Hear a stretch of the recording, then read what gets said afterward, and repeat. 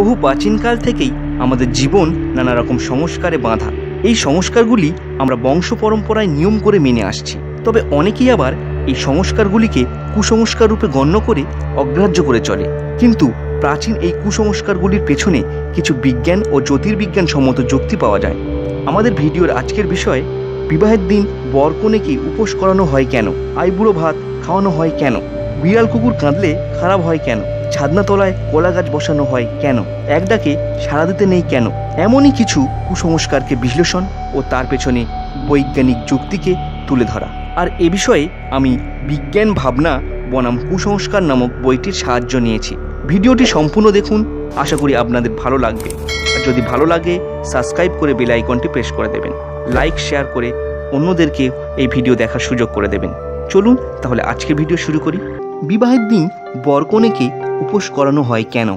শাস্ত্রে আছে, মানুষ না খেয়ে মরে না, খেয়েই মরে। অর্থাৎ মানুষ দু একদিন না খেলে মরে না। কিন্তু অতিরিক্ত খাওয়ার ফলে মানুষের মৃত্যু হতে পারে। মৃত্যু না হলেও অসুস্থ হয়ে পড়ার ঘটনা ভুরি ভুরি দেখা যায়।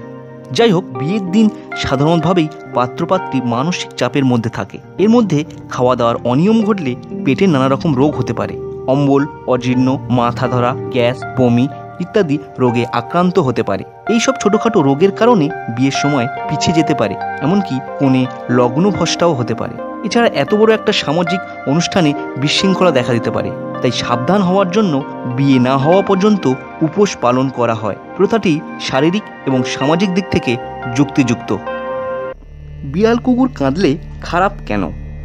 বাড়িতে বা আশেপাশে কুকুর বা বিড়াল কাঁদলে ঠাকুমা দিদিমাদের বলতে শোনা যায়, ওই লক্ষ্মী ছাড়াটিকে তাড়াতো নিশ্চয়ই কোনো অমঙ্গলের খবর নিয়ে আসছে। কিন্তু বিজ্ঞান বলে প্রাকৃতিক বিপর্যয়ের আগে আবহাওয়া এবং পরিমণ্ডলের যে পরিবর্তন হয়, তা পশু পাখিরা সবার আগে বুঝতে পারে। তাই ওরা আতঙ্কে কান্না শুরু করে। সুতরাং এই প্রথাটির পেছনে বিজ্ঞানের একটি অকাট যুক্তি আছে। এক ডাকে সাড়া দিতে নেই কেন?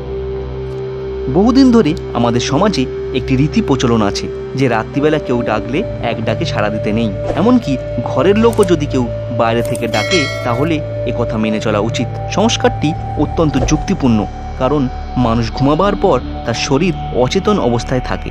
এই অবস্থায় একবারের ডাক তার কানে পৌঁছালেও অনেক সময় সঠিকভাবে বোঝা সম্ভব নয় যে কে ডাকছে। কাজেই এই সুযোগটা দুষ্ট লোকেরা নিতে পারে, ফলে জীবন ও সম্পত্তির ক্ষতি হতে পারে। কাজেই প্রথাটি মনোবিজ্ঞানের দিক থেকে বাস্তবসম্মত।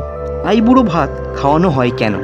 বিয়ের আগে অবিবাহিত অবস্থায় শেষবারের মতো খাওয়ার নাম আইবুড়ো ভাত। পাত্রপাত্রীর বন্ধু বান্ধবী যাদের বিয়ে হয়নি, তারাও একসঙ্গে খেতে বসতে পারেন। এই লোকাচারের পেছনে যে যুক্তি পাওয়া যায় তা হলো, সে যুগে সম্ভবত বিবাহের পর ছেলেরা পৃথকভাবে বসবাস করত। অর্থাৎ যৌথ পরিবারে তারা বাস করতো না, এবং মেয়েদেরকে স্বাভাবিকভাবেই স্বজন পরিত্যাগ করে স্বামীর গিয়ে থাকতে হতো। অর্থাৎ তারা যেন আত্মীয় স্বজনদের কাছে পর হয়ে যেত। তাই পর হয়ে যাওয়ার আগে আত্মীয় স্বজনরা স্বাদ করে ভালো খাবার তাদের খাওয়াতো। যেমন বিদায়ের পূর্বে কাউকে ভালো খাবার খেতে দেওয়া হয়, তাই এই প্রথাটির মধ্যে শোকের ছায়া এবং বিয়োগের একটা ব্যথা পাওয়া যায়, যা আনন্দের নয়, বেদনা। ছাদনাতলায় কলা গাছ বসানো হয় কেন?